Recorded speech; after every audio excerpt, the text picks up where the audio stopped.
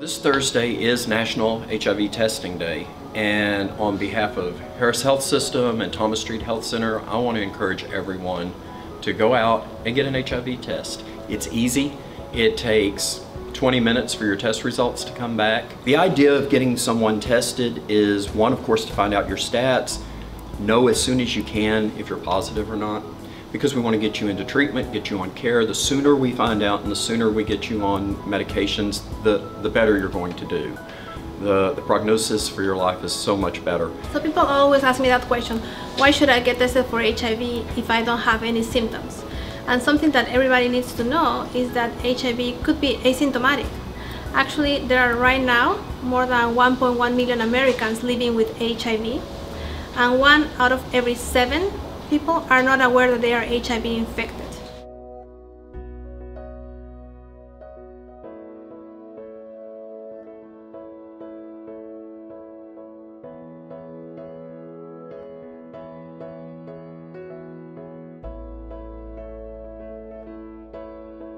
Someone can come in off the street and just get an HIV test. They don't have to be a patient.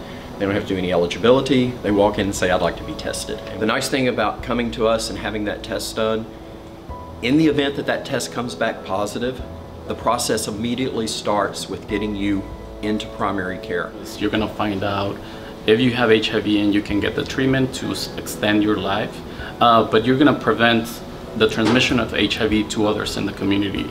Uh, the, a high number of people who have HIV and don't know they have HIV are actually responsible for the majority of newly infections every year. So not only are you protecting yourself, but you're protecting your loved ones and maybe others in the community. Ultimately, fear and stigma is gonna keep you away from the health care that you need.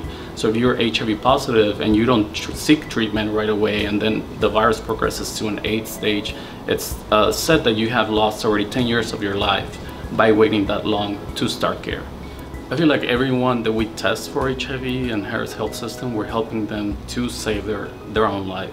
Even if they do come back with an HIV positive test result, the fact that we can connect them to the services they need immediately and have access to the medication that's going to reduce the viral load in their blood uh, bloodstream, it's hugely impactful to prevent um, the progression from HIV to AIDS and eventually, uh, you know, dying from complications related to AIDS.